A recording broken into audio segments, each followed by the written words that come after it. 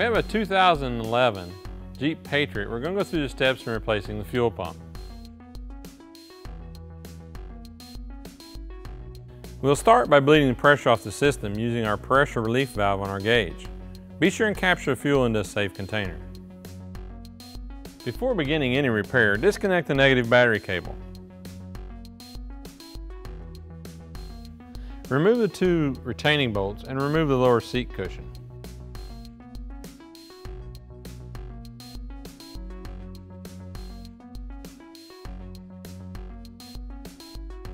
Remove the sound dampening material and the pump cover.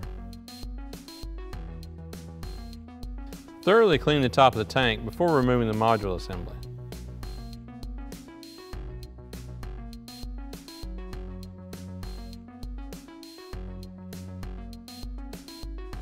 Disconnect the electrical connection and remove the fuel line. When removing the fuel line, you may have some residual fuel. Be sure and capture this into a safe container. You will need to remove the safety retainer and install into the fuel line. Remove the fuel pump lock ring using a non-ferrous brass punch and turning it counterclockwise.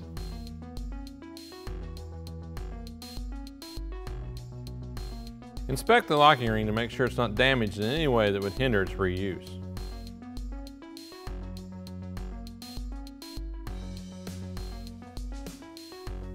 Partially raise the pump and disconnect the transfer line.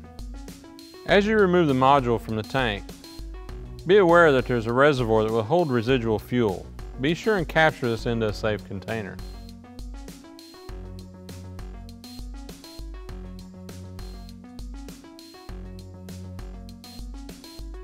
Remove the tank seal and thoroughly clean the tank seal area. At this point, we need to drain the remaining fuel into a safe container and clean the inside of the tank. Having a clean environment for the fuel pump to operate in will extend the life of the pump.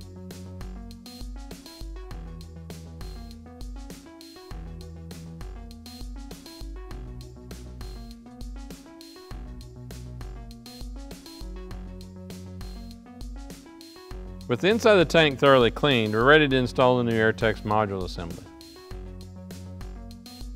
Place the tank seal in its location on top of the tank and install the float arm in its position. As you lower the module into position, reattach the transfer line.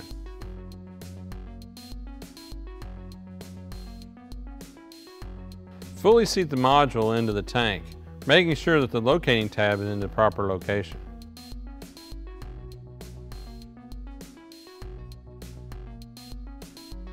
Install the locking ring turning it clockwise, making sure that the locking tabs are fully seated into position.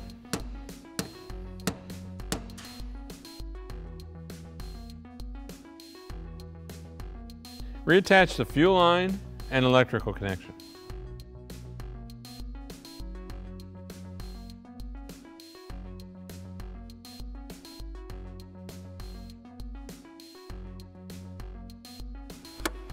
Install the fuel pump cover and sound dampening material.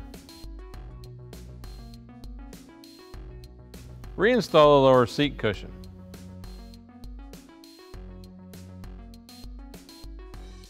With the repair complete, reattach the negative battery cable.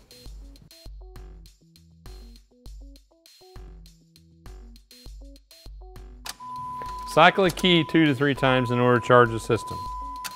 Start the vehicle and monitor fuel pressure, making sure it's within vehicle specification.